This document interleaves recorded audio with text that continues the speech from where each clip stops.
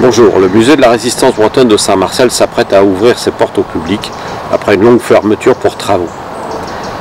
Des dizaines d'objets, de vêtements, de, munitions, de, véhicules euh, y sont euh, présentés et mis en valeur. Et cela grâce aux travailleuses et de travailleurs de l'ombre euh, qui ont consacré des centaines d'heures de leur temps pour trier, nettoyer, ranger, classer tous ces objets qui sont les témoins des événements tragiques qui sont déroulés ici. Nous sommes allés à la rencontre de Marie et Clémence, les deux chargés d'inventaire du, musée, mais aussi de Gabi et de Jacques, deux bénévoles qui ont restauré les véhicules militaires anciens qui sont déjà en place à l'intérieur du, musée.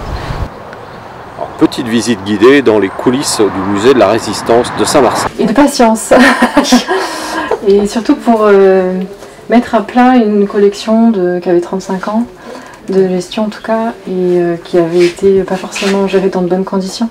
Donc nous, quand on est arrivé en 2017, on a remis à plat beaucoup de choses. On a fait l'acquisition au fil des années aussi de matériel et de matériaux de conservation, euh, puisqu'on on travaille avec la DRAC Bretagne, qui suit beaucoup notre travail et qui a, il y a des exigences en fait euh, Musée de France quant à la conservation des objets.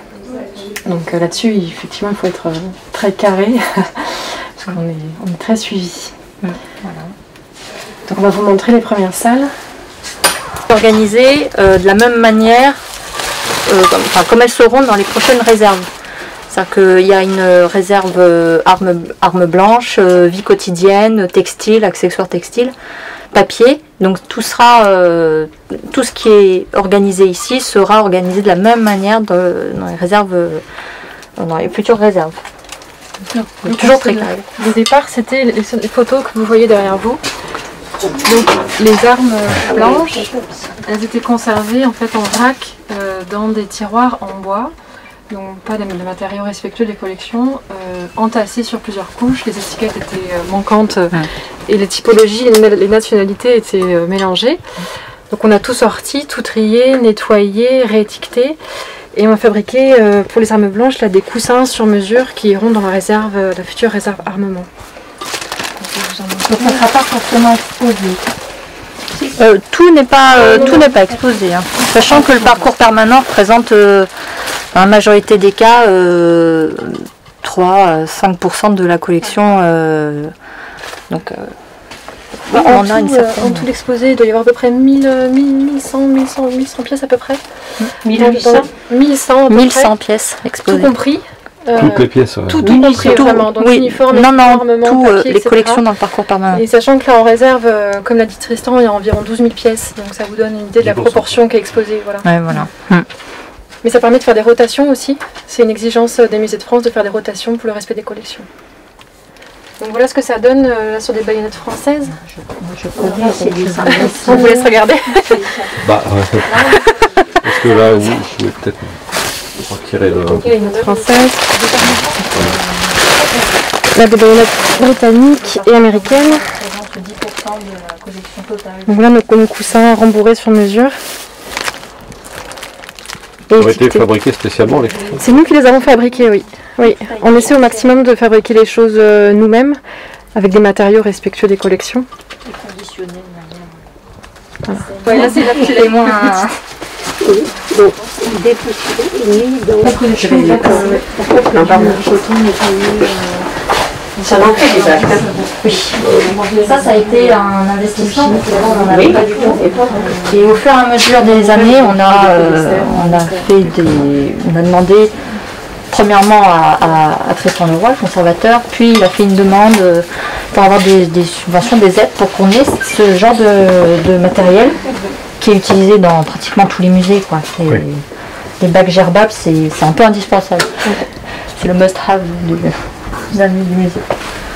Là, on est dans une autre réserve appelée euh, euh, réserve vie quotidienne. Donc on peut passer de la montre euh, boussole à des plaques d'identité, à, des pansements. Voilà, c'est vraiment la collection un petit peu plus hétéroclite qui est plus grande. Du coup, ça demande une plus grande pièce. Et là, vous avez des visuels du avant et après intervention. Avant, les, réserves étaient conditionnées, donc euh, étaient organisées par tiroir, placard. Donc quand on ouvrait les placards, on, voyait tout ça. donc euh, voilà, au fur et à mesure, on a, avec les fameux bacs, on a pu les conditionner, euh, mettre des tapis de mousse et ainsi insérer. donc là, par exemple, pour artisanat de tranchée euh, 1914, euh, première guerre, conditionner tous les petits objets dans chaque bac. Voilà. La réserve euh, des accessoires textiles. Donc, tout ce qui est coiffe. Ici, vous avez un, un mur de, de coiffe, donc les casques, les casquettes, les képis. les Oui, pour l'instant.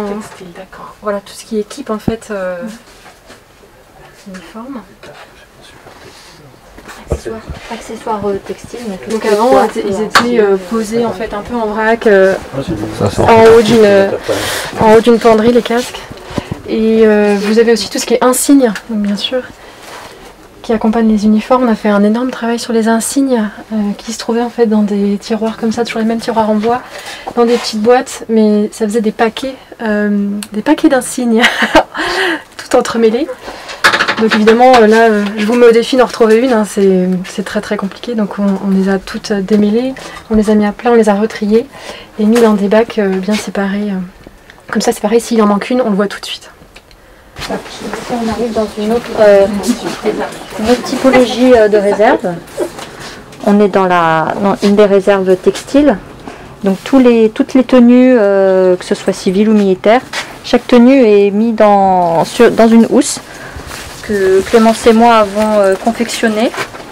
Euh, donc on a dû investir. Ça, c'est- tout ça fait partie des premières campagnes de conditionnement qui a été fait euh, en- tout- tout- juste après notre, notre arrivée. Donc on est sur du, du Tivec avec des petits sergets de coton, donc des matériaux très simples mais inertes et qui sont vraiment idéaux, qui sont très bien pour, la, pour les tenues. Donc tout est sur mesure avec chacun le vise. Et puis, euh, et puis chaque housse est, euh, étiquetée. Donc on retrouve euh, la photo pour éviter de manipuler et d'ouvrir chaque, chaque housse. On a un visuel de la tenue qui est conditionnée sous la housse, son numéro d'inventaire et puis un descriptif synthétique mais efficace pour retrouver et savoir si, si c'est bien cette tenue qu'on cherche. Donc voilà, tout, est, tout a été fait sous housse. Et derrière vous, vous avez aussi les parachutes qui sont euh, dans des bacs, parachutes plus ou moins gros et qui sont aussi étiquetés. Euh, donc ça a été réalisé lors de la préparation du, en cours de déménagement en fait, du parcours de l'ancien parcours permanent. Donc on a du tout euh, plié savamment les parachutes parce que c'est un, c'est un art. Parce qu'avant on était vraiment sur euh, une étagère dans les anciennes réserves, une étagère dans un placard et tout était euh, En vrac, En des boule. cartons, euh, voilà. Donc c'était un peu, un peu compliqué de s'y retrouver, donc vaut mieux bien plier ça euh, Vous avez correctement. fait appel à des parachutistes. Il y a eu euh, notre, notre collègue médiatrice là, euh, Coralie Guéot, a des, a des, euh, a des contacts dans son association euh, la FPSAS. Euh, donc c'est des reconstituteurs, des jeunes reconstituteurs qui, qui aiment tout euh, ce qui est équipement militaire et des SAS, du Special Air Service. Donc euh, eux, ils savaient comment plier un parachute. Donc on a eu deux, euh, deux aides précieuses pour plier les parachutes. Voilà. Donc là, vous avez des visuels euh, de la réserve des- textile avant. l'état des penderies qui était assez catastrophique.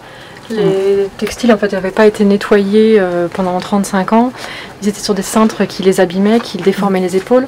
Ils étaient tout mélangés, donc on avait euh, des tenues déportées qui pouvaient être mélangées avec des blousons euh, de pilote ou des chemises, euh, des chemises ou des pantalons. Donc on a dû tout aussi nettoyer et, et retrier. Parce que c'est- extrêmement fragile les textiles. Donc ça demande un soin très particulier, une attention particulière. Pour les réserves. Ici, oui. Là, on en a C'est moi qui sont vides.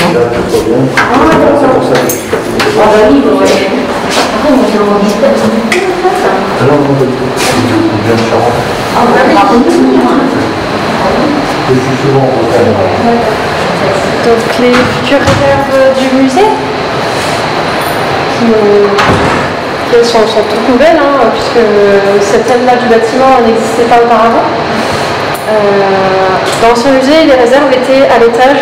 On devait y accéder par un escalier extrêmement pentu, donc euh, l'accès n'était vraiment pas sécurisé.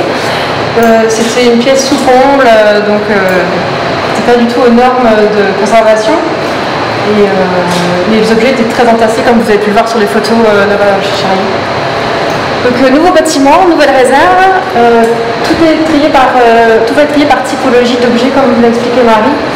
Donc ici ce sont euh, les papiers d'une part sur ces étagères-ci et les affiches euh, dans euh, ces deux meubles à plat, A0 et A1, donc à euh, sur ce type de mobilier. C'est l'entreprise Brunzil qui a eu le marché euh, mobilier réserve. Donc une grande entreprise qui travaille avec les plus grands musées européens, euh, ils ont souvent les grands marchés. Et de ce côté, ce sera vraiment le, les uniformes en fait. On a plusieurs tailles de penderies. De ce côté, des grandes penderies assez hautes euh, pour les grands manteaux par exemple. Et ici, des penderies moins hautes pour des petites barreuses, des pantalons, euh, des chemises. En partie inférieure, euh, deux types de tiroirs. Des très épais, par exemple, pour mettre des bottes. On a une belle collection de bottes. Et ici, euh, tout ce qui est insigne, les plaques d'insignes que je vous ai montré tout à l'heure, par exemple. Donc elles vont être triées, étiquetées.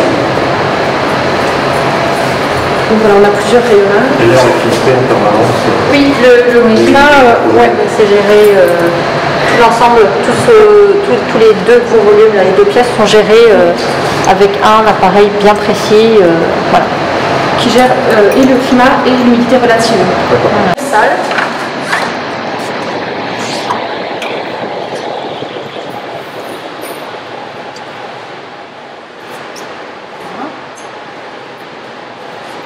Avec des rayonnages euh, sur la partie gauche et puis tout ce qui est objet lourd, tout ce qui est gros, euh, grosse malle, etc. Ça sera. Tout ça c'est du Brunzil aussi. On a vraiment des, des petits objets qui vont aller dans des bacs euh, sur ces étagères où les hauteurs sont réglables, donc on va pouvoir adapter. Donc, euh, on a aussi trois tailles de bacs euh, différenciées selon les objets. C'est vraiment les groupements qui doivent s'adapter aux objets et non l'inverse. Évidemment, non, mais veux dire qu'en en amont, donc, euh, à partir de 2018-2019, on a eu les premiers plans d'architectes sur, euh, On s'est concentré sur les réserves en premier temps, et on a euh, en fonction de nos objets, en fonction de nos, nos contenants, nos bacs, etc., on a dû nous réfléchir à quel mobilier on voulait. C'est du, c'est du sur-mesure, donc on est plutôt satisfait du résultat. Il y a encore des installations à, à faire, donc on attend impatiemment que ça soit monté pour qu'on se rende compte vraiment de ce que ça va rendre. Mais euh, tout ça a été réfléchi en, en amont.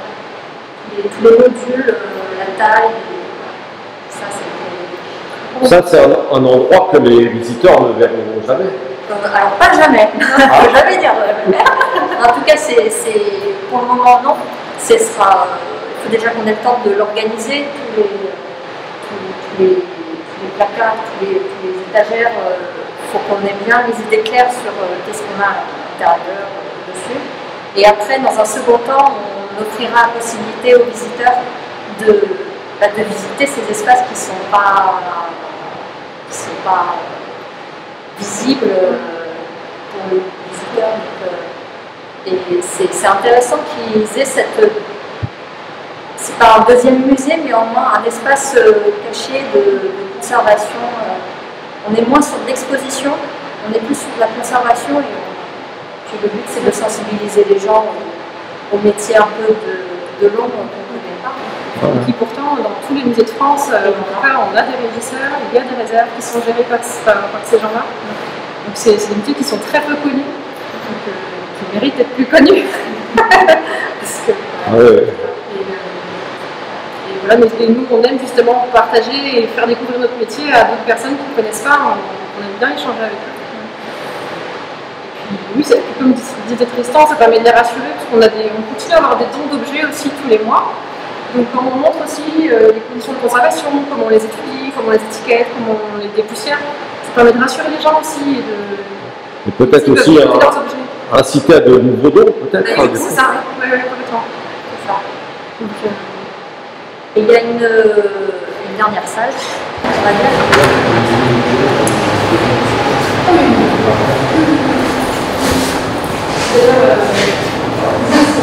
Donc cette salle, on l'appelle euh, l'atelier de traitement. C'est la première salle qu'on investit avant de rentrer dans les réserves à proprement dit. Donc c'est notre salle de, de- de travail. Euh, C'est là où on va se poser pour consulter les documents, etc. ou tout autre euh, objet euh, avant du coup d'ac- d'accéder aux, réserves. Donc on est plus sur un, enfin, du coup, un atelier. on- a de quoi euh, poser nos, équipements, nos matériaux, euh, des, des bases peut-être qui restent, mais en vue de, de les conditionner. euh, voilà. Donc on a normalement quatre tables, là on en a trois. Euh, des tabourets, tout, ça très, euh, prend le minimum de place pour euh, qu'on puisse tourner autour de la table. Euh, voilà, c'est vraiment la première salle qu'on investit quand on rentre. On est vraiment dans une pièce qui est fonctionnelle. Et parce qu'on a des objets, on n'a vraiment pas que des petits objets, on a des objets volumineux, lourds parfois. Donc il faut pouvoir tourner autour. Quand vous avez un drapeau euh, qui fait euh, 2,50 m sur 3 mètres, euh, il faut vraiment pouvoir euh, travailler et l'approprier comme ça. parce que dans l'ancien musée, on avait ce problème-là. On avait trouvé des astuces euh, pour travailler sur des œuvres. Donc euh, ça va être euh, simplifié ici grandement. Père, je voulais simplement au nom de Bruxelles Communauté les remercier à nouveau parce qu'ils ont fait un super travail. Euh, Puisqu'on est parti de l'atelier Charrier, vous avez vu, comme je vous précisais, que le, hangar est vide, mais euh, il n'y a pas si longtemps, il était, euh, il était rempli, rempli de tous ces véhicules qu'il a fallu prendre les uns après les autres. Donc c'est un travail de deux ans hein, presque, hein, puisqu'il y a une dizaine de, véhicules qui sont passés entre les mains de nos collaborateurs bénévoles, donc Jacques Mélois et Gaby Pierre qui ont énormément de savoir-faire, qui sont polyvalents, qui sont mécaniciens, peintres, tauliers et autres, mais ça ils vous euh, menuisiers aussi, en capi. Euh, et donc euh, ils ont fait un travail extraordinaire qui, mérite vraiment d'être salué, parce que s'ils n'avaient pas été là, je ne sais pas, sais pas comment on aurait fait, hein. Clairement. Donc merci encore mille fois à vous. Que dire de plus bah, Ici, c'est bien qu'on puisse les remercier ici dans ce lieu, puisque c'est là où sont concentrés la plupart des véhicules remis en état. Je ne dis pas restaurer, c'est, volontaire, puisque dans un musée de France, les mots ont un sens, donc on ne parle pas ici de restauration, euh, parce que qui dit restauration dit euh, euh, intervention de conservateurs, euh, restaurateurs du patrimoine.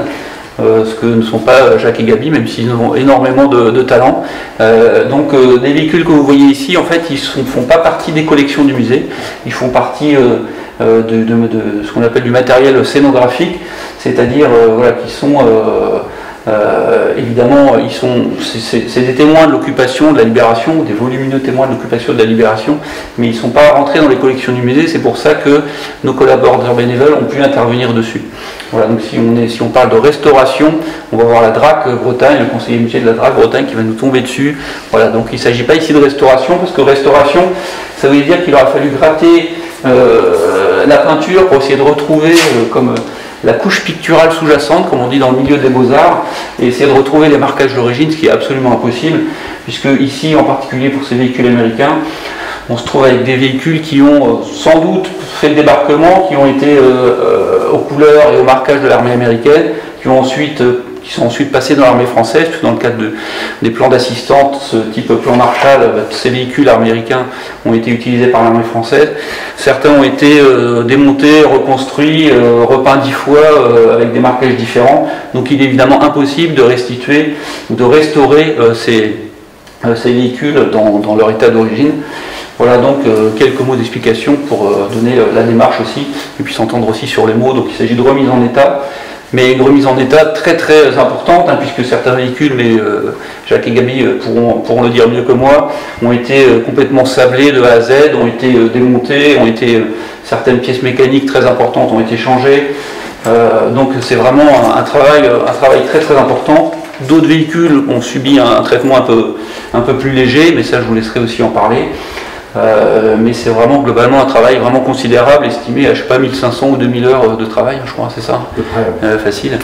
Euh, depuis euh, pour les premières euh, les premiers coups de, de brosse ou les premiers sablages jusqu'à l'installation ici euh, dans le musée, puisqu'ils ont aussi été à l'heure euh, et ça n'a pas été facile euh, pour installer ces véhicules ici et encore récemment cette semaine pour les mettre sur chandelle, puisque pour soulager les pneumatiques, euh, euh, des chandelles ont été faites sur mesure par, euh, par, euh, par Jacques pour, euh, pour sou- et, mis en place aussi par Gabi euh, pour soulager. Les chandelles sont les, les petits éléments métalliques voilà, qui, qui euh, soutiennent les véhicules au niveau de l'essieu et qui évitent que, le, que, que le- les pneumatiques euh, euh, se dégonflent en fait, pour éviter qu'il y ait trop de pression sur les roues. Voilà, sous forme de boutade. On me dit que Jacques a fait au moins 36 chandelles, je crois qu'il On n'est pas loin du compte. Il a vu 36 chandelles.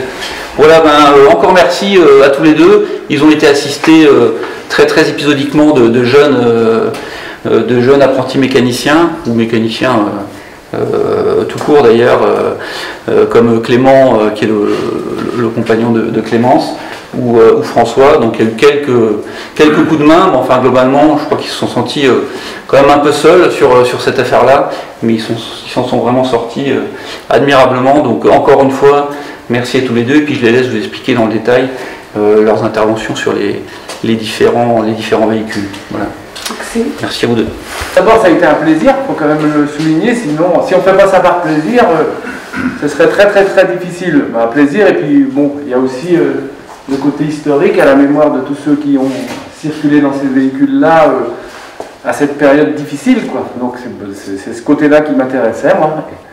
Donc voilà, le travail, eh ben, ça a été assez lourd, finalement, parce qu'on devait être un peu plus nombreux à l'origine, mais il y a des gens qui n'ont pas pu venir parce qu'il y avait des problèmes, des... enfin bref. Mais tous les deux, bon, on était complémentaires, ça s'est très bien passé, une bonne entente. Et une bonne entente aussi avec euh, euh, Tristan, Marie, Clémence euh, et tout le monde, quoi. Christophe, Christophe, oui, faut pas l'oublier non plus. Étienne à l'époque. Donc ça s'est passé dans la bonne humeur, faut le souligner. Vas-y, David, à toi aussi. Oui, bah écoute, je ne vais, vais pas répéter donc, euh, voilà, hein, donc, ce qui a été dit. Voilà, moi, je n'ai pas la, la- faculté de, de- de- de sortir un discours comme ça improvisé, donc je l'ai un peu copié parce que je m'attendais un peu à, à ces questions-là. Donc euh, voilà, alors moi je voudrais vous dire que, mais vraiment c'est à titre personnel, parce que je reviens toujours que c'est vrai qu'on l'a fait en commun. hein. Donc euh, à titre personnel, et quant à ma motivation, Bien sûr qu'il fallait donc avoir la passion, l'envie, le goût pour remettre tous ces véhicules en valeur. Mais avant tout, il fallait avoir, en ce qui me concerne, et en tant que Marseillais, le devoir de mémoire. Une façon de ne pas oublier toutes celles et ceux qui se sont battus, sacrifiés pour nous, pour notre pays, et cela aurait été pour moi un moyen de leur rendre hommage. Tous ces véhicules seront là, dans ce nouveau musée de la résistance en Bretagne, le meilleur moyen de ne pas les oublier. J'ai également le devoir de ne pas oublier et de rendre hommage et d'avoir une pensée à travers ces remises en valeur de ces véhicules à notre ancien maire et président fondateur du musée de la résistance, inauguré en 1984.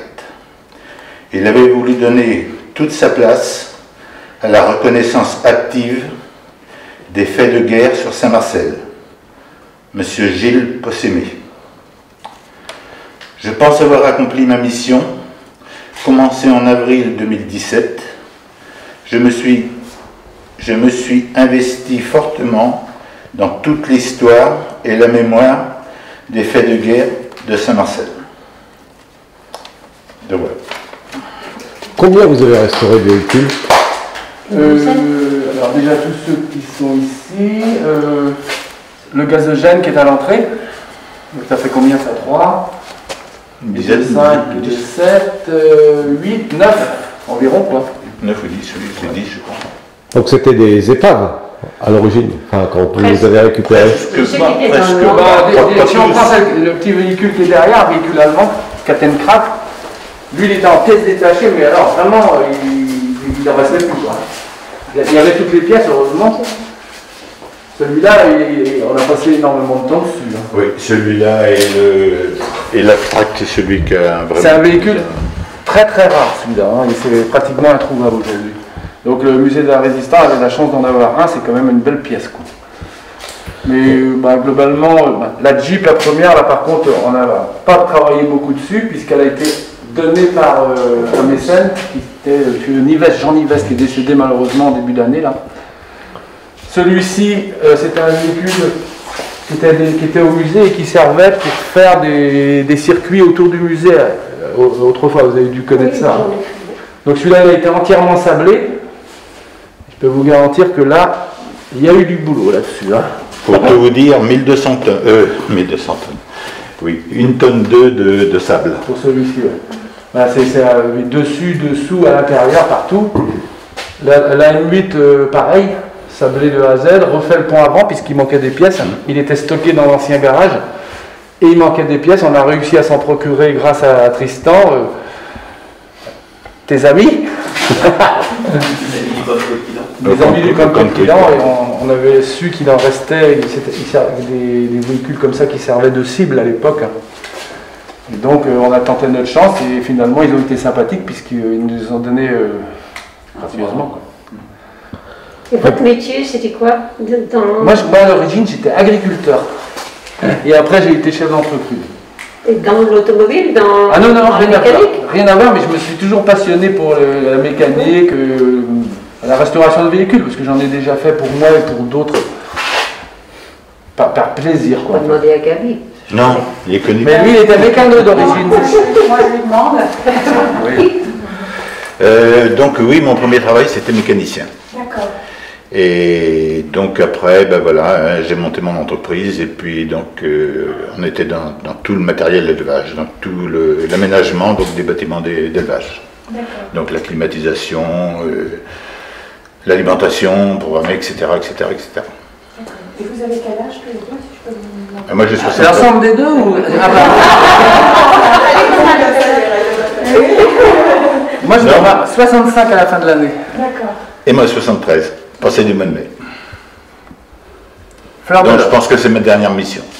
Oh, tu dis ça, mais c'est pas vrai. Ah si, je Je pense. te connais. Ah non, je vais Il va bien en trouver une autre. Non, réussir à... Enfin, il avait réussi à me remettre sur les rails quand même. hein, Bah oui. À un certain moment de... Oui, Voilà, oui, de- de- oui. de- Mais voilà. justement, ça fait du bien. Mais disons que c'est vrai qu'au départ, euh, il y avait quand même une masse de travail conséquente, hein, parce que quand on voyait tout ça, on dit, bah, alors là, on est deux là, par quel bout on commence Et puis on, euh, au fur et à mesure, une fois qu'il y en a eu un, il y en a eu deux et tout, bah, ça y est, c'est reparti quoi. Et vous avez tout fait ça là-haut dans... Oui, oui, Oui. oui.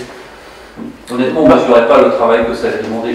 Quand on, a vu les plans d'architecte avec, les, véhicules euh, à l'intérieur de cette euh, nef à véhicules, on a trouvé ça très chouette, mais on ne mesurait pas le travail colossal que ça, que ça représentait. Et surtout, on ne pensait pas que ça allait reposer sur les épaules de, essentiellement de deux Deux. personnes. C'est vrai qu'à l'origine, euh, il y avait six volontaires, normalement, on était six à peu Euh, près. Mais donc euh, ce- ça aurait été pas mal d'avoir Oui, deux équipes, deux ou trois équipes de deux, ça aurait pu être sympa quoi. Mais bon, bah. euh, Vous étiez des semaines entières ou ça a été par petits Non, non, non. par Non, c'était pas, c'était pas des semaines entières, c'était de- des, des, des, des jours, des bouts de jours, euh, voilà. hein, donc, euh, mais non, ça n'a pas été des, des semaines entières de rang. Non, ça aurait été difficile. Par exemple, sabler toute la semaine, je crois pas qu'on Ah non, non, non. on puisse le faire parce que c'est très très dur. c'était impossible. D'autant que tu as failli mourir étouffé par le masque de la sableuse. Exactement. Quand vous parliez d'épave aussi, il faut savoir que le U-23 est arrivé aussi dans, dans, dans, dans un piteux état, c'est le véhicule qui est à l'entrée d'abord du... euh, voilà, hein, donc euh, celui-là il était plié de chez plié aussi, donc euh, bah, on y a passé du temps aussi, hein, donc euh, voilà, mais avec le temps et la patience, euh, on obtient tout. Donc vous avez dû retrouver des pièces, en refaire certaines? Retrouver des pièces, refaire certaines, oui, on a fait, on a fait, oui, on a fait beaucoup de pièces, c'est sûr. Euh, bah, Jacques par ses connaissances donc en soudure, hein, euh, déjà d'une part. Bon, bah, moi de mon côté, euh, peut-être, euh, voilà, j'en ai amené aussi. euh, donc euh, chacun a amené sa part, disons. Est-ce que ça veut dire que tout roule, tout fonctionne Ah non Non, c'est pas le but, c'était pas le but. C'était pas D'accord. Non, Bien, bien, au, pas bien au contraire, non, c'est pas ça, mais On, a dû euh, enlever tout ce qui était euh, lubrifiant, neutraliser les réservoirs avec, euh, en les remplissant avec des matériaux de manière à ce que ça ne devienne pas explosé, que ça n'explose pas. Quoi. On ne sait jamais une, une maladresse, hein, une cigarette ou n'importe quoi. Même un réservoir vide, il faut savoir que 10 ans après, même s'il n'y a plus d'essence dedans, il y a toujours des gaz dedans. Donc c'est hyper dangereux. Il y a des gens qui se sont fait éclater la figure avec ça. hein. Donc là, tout- tous les réservoirs qui avaient de l'essence, il y a, du, il y a, il y a un produit, je ne sais plus le nom du produit, Tristan, comment C'est de l'argile expansée, enfin un matériau ininflammable qui, Voilà, qui qui comble, qui, dégazer complètement aussi le, les réservoirs. Voilà, donc toutes les, tous les ponts, euh, tout a été enlevé, il n'y a, plus- il y a plus du tout de, de gaz de temps. Mais rien n'est irréversible, il faut le savoir quand même. hein. Tous les véhicules, si un jour quelqu'un veut, dans, dans 20 ans, 30 ans, le musée décide de les, de les faire tourner, de les faire rouler, c'est tout à fait possible. Vas-y. Donc là, on est sur notre colonne de véhicules allemands avec euh, cet Opel euh, Blitz, qui est un peu le camion à tout faire de l'armée allemande, hein, transport de troupes, transport de matériel. Ici, une motochenille euh, Kettenkrad, euh, motochenille de, l'armée allemande qui est, assez rare en, collection, voilà, qui servait à, di- à divers usages pour tirer des, câbles, pour, enrouler les câbles sur les aérodromes ou pour faire du transport de troupes ou de, de matériel, mais évidemment de, de, de- de quelques, quelques personnes. C'est ce que j'oublie comme usage, je ne sais plus. euh, Non, ça servait aussi pour le, le transport et l'alimentation des bombes pour les avions. Voilà, c'est ça. Et c'est un véhicule vraiment qui passait, qui passait partout, quoi. C'était son, son, son intérêt. Euh, derrière, une petite. Ouais, ici, un petit, un petit utilitaire hein, de l'armée allemande également, une camionnette euh, Framo. Un modèle aussi euh, assez rare. Euh, véhicule pas très puissant, mais multi- multi-usage. Allez. Et ici un Citroën euh, U12 de, de l'armée française. Euh, voilà, qui- un petit, enfin un véhicule Citroën euh, d'abord civil, mais qui a été euh, militarisé pour les besoins de l'armée française. Ici en, en version sanitaire. On a ici euh, une auto mitrailleuse Ford AM8, un véhicule euh, blindé à roues. Donc ici, les trois véhicules qu'on a ici sont un peu euh, emblématiques de la libération de la Bretagne. Donc ils sont présentés devant des photos qui les représentent en situation pendant la libération de la Bretagne. Donc ici, la photo qui est derrière a été prise à Pontivy. Donc ici, un semi, un, semi-chenillé euh, américain, Alftrac. Euh, et la photo qui est derrière représente la libération de, de Saint-Brieuc. Vous voyez, un GI encadré de deux, de deux briochines euh, pendant la, la libération de, la ville de Saint-Brieuc. Et là, donc.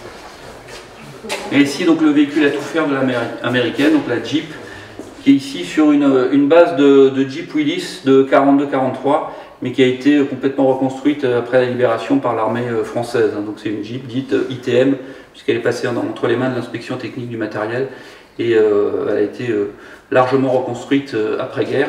Et la photo qui est derrière, donc c'est une photo prise pendant la libération de Vannes, euh, qui représente euh, bah, le, commandant Bourgoin, commandant du, du 4e SAS, avec euh, le parachutiste Achille Muller au volant, et puis derrière des-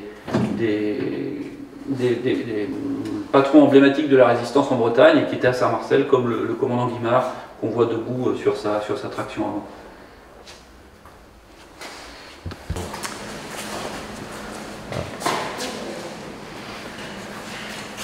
Et donc ici on a un U23, donc Citroën U23, un utilitaire euh, avec son système gazogène.